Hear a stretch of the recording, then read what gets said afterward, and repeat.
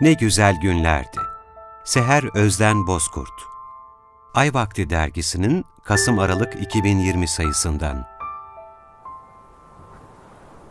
Ne kadar zaman önceydi bilmiyorum. Belki evvel zaman, belki de daha öncesi.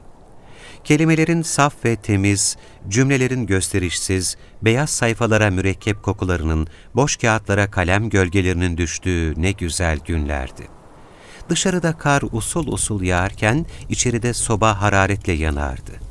Sobanın üzerinde kaynayan güğümden yayılan buhar gidecek yer bulamayınca camlara yapışır kalırdı.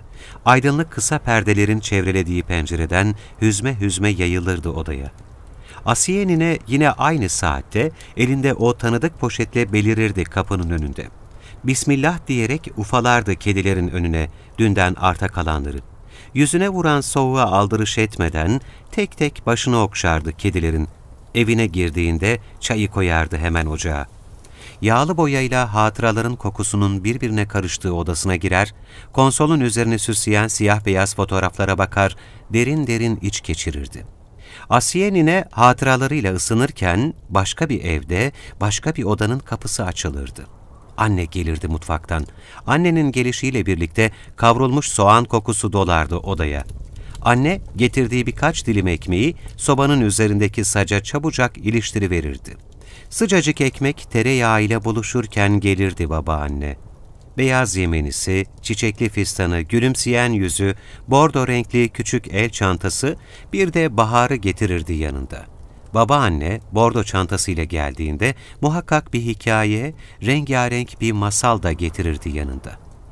Geniş ve açık alnına dökülen birkaç tel saçı, sonra küçük birer düğmeyi andıran gözleri, ince yüzüyle Ömer Seyfettin gülümserdi çantadan. Sonra sarı saçları, gök mavisi gözleri, hüzünlü bakışlarıyla çocukların hafızalarına kazınan Hasan'la göz göze gelirdi çocuklar.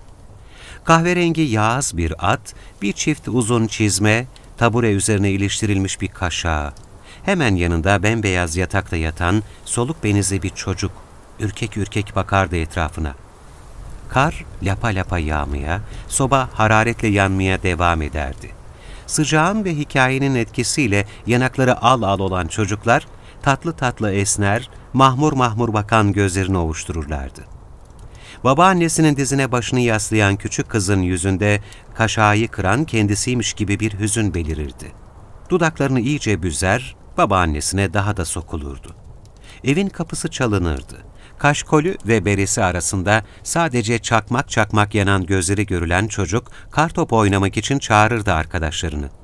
Babaannesinin dizinden kalkan kız, kaşağı kıran Hasan'ın hayalini hızlıca kovuştururdu gözlerinin önünden. Alelacele giyinirken seslenirdi çocuğa. ''Ben gelmeden başlamayın.'' Gün biterdi, bugün düne karışırdı yine. Asiye nine takvimden bir yaprak daha koparırdı özenle. Kedilerin akşam yemeğini bırakırdı kapının önüne. Kartop oynayan çocukların sevinç çığlıkları baharı çağrıştırırdı.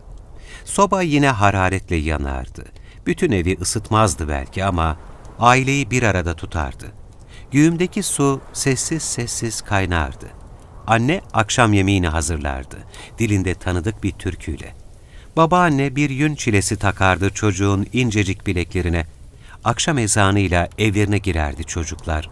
Bahçelerdeki kardan adamlar sabahı beklerdi heyecanla. Akşam çökerdi şehrin üzerine. Karanlık çökmezdi yüreklere. Elektrik kesilirdi bazen, gündüzden hazırlanan gaz lambasının fitili ateşlenirdi hemen.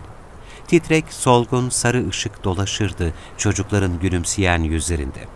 Babaanne eskilerden, çok eskilerden bir kıssa anlatırdı. Gökyüzünün mavi, denizin mavi, umudun mavi olduğu günlerden kalma.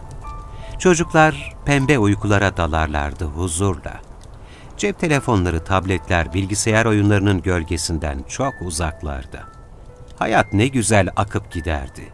Sakin ve telaşsız. İnsanlar ne güzel yaşayıp giderdi, hırstan uzak, kendi halinde.''